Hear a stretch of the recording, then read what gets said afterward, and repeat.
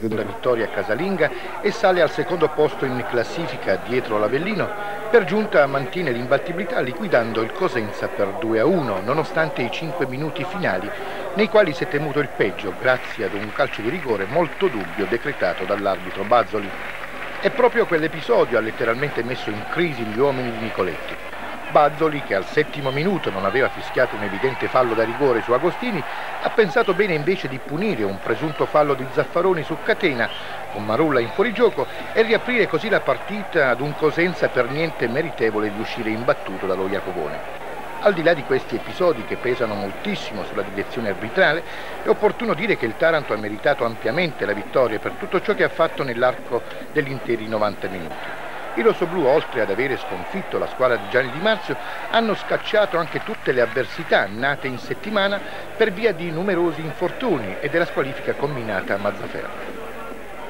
Per Nicoletti, insomma, mille difficoltà per allestire la formazione da mandare in campo contro il temibile Arcigno Cosenza e a questo punto la vittoria acquista maggior valore e fa sorridere Nicoletti.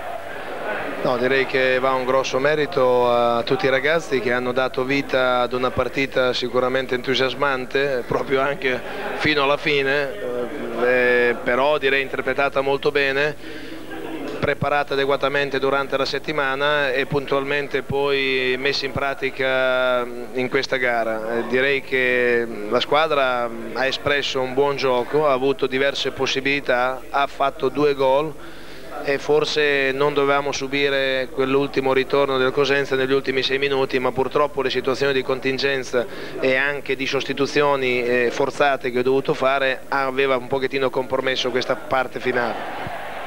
Tuttavia non va sottaciuto il grande contributo dato dal pubblico per l'intero secondo tempo che ha letteralmente annientato gli ospiti e sospinto i rossoblù locali per il raggiungimento del raddoppio. Fondamentale quindi l'apporto del pubblico, come mai si era registrato in precedenza? Oggi c'è da dire che il pubblico è stato grandioso. Ma credo di sì perché c'è stato un momento che eravamo veramente diciamo, un po' rilassati, il pubblico l'ha caricato, tant'è vero che venuti, è venuto il secondo gol con una splendida azione di Clemente. Credo che il, io ho sempre sostenuto che il pubblico è il tredicesimo giocatore in campo per la squadra. Chi è il dodicesimo? Lei? Il dodicesimo è l'allenatore che dà... Eh, dalle sue disposizioni. Credo che il tredicesimo è quello che carica veramente il, il, gioco dei ragazzi, perché sono ragazzi che vogliono avere la considerazione di chi praticamente soffre, paga e vuole lo spettacolo. Loro aspettano questo tipo, oggi l'hanno fatto e credo che è stato ripagato con una vittoria. Credo che questa vittoria deve farci stare più tranquillo con queste due trasferte che andremo a fare fuori.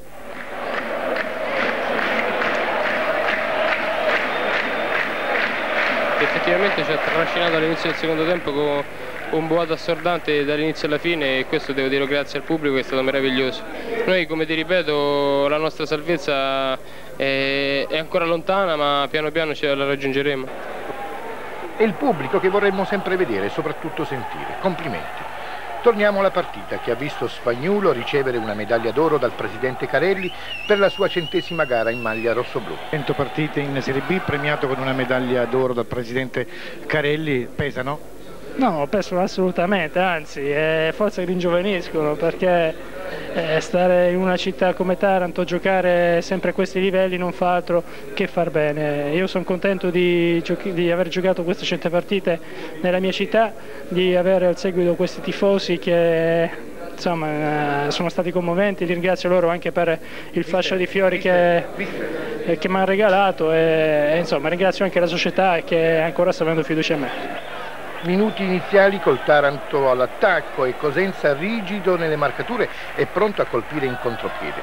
Nicoletti fa esordire Bella Spica per non rischiare Cossaro e si rivede Agostini vice Zannoni. Conferma Giacchetta e ripropone D'Ignazio sull'out sinistro in assenza di Filati. La gara non procura grosse emozioni anche se l'iniziativa è quasi sempre dei padroni di casa. Al settimo l'arbitro dice no a un fallo in area avversaria su Agostini, mentre al quindicesimo Spagnuolo è impegnato da Mileti dalla lunga distanza. I minuti scorrono veloci con la voglia matta del Taranto di sfruttare qualche buona occasione. E lo fa al 32esimo con il terzino di Ignazio che sfrutta alla perfezione un perfetto assist di Agostini. Sì, ho visto Agostini che crossava, mi faccio trovare sempre in quei, in quei posti, ho calciato molto bene di sinistro, di collo pieno, l'ho messo all'angolo alla sinistra del portiere. Nei primi 20 minuti della ripresa registriamo lo show del pubblico e pochi interventi dei portieri. Il Taranto controlla un Cosenza con molti limiti e spesso affonda le sue lame nell'ermetica difesa avversaria, cercando di sfruttare anche i favori di Eolo. La difesa ionica non lascia spazio ai volenterosi avversari e così proprio da una veloce azione di contropiede nasce il secondo gol. Protagonista finali Giacchetta e Clementi che supera anche Vettore e realizza il primo gol della stagione. Partita chiusa?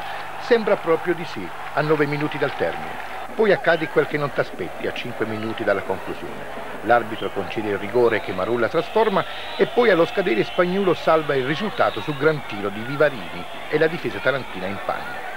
Sarebbe stata una vera beffa per la squadra del presidente Carelli che si coccola i suoi pupilli dall'alto di una classifica prestigiosa e gratificante in attesa di un doppio turno in trasferta. Insomma, sette punti in cinque partite è certamente un bottino di primo piano e il bello deve ancora venire.